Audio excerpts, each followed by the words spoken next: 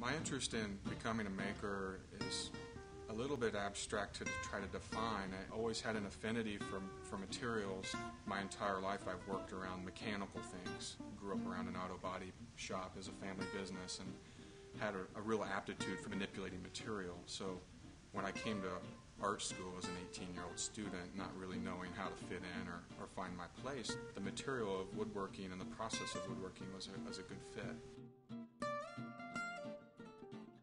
I re- really respond to wood as the primary material I use currently in my studio practice just because it kind of has a known place in the world. I really respond to the patterning, the texture. I also draw and paint a lot on my work, and uh, that's kind of the root of my studio practice and why I got interested in art in the first place. Is sort of the manipulation of paint on surface, and that tends to be a primary material of the work. Wood's the building structure, but the paint and the finish is the presentation. What you do five steps in the future is reflective of what you're doing right now with the material.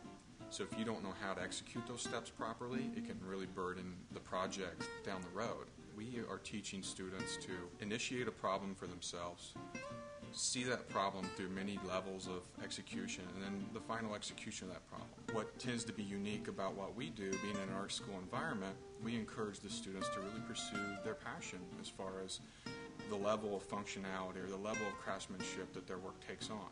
You kind of, I think, as a student, you find your best fit as you go, and, and furniture design was a good fit for me.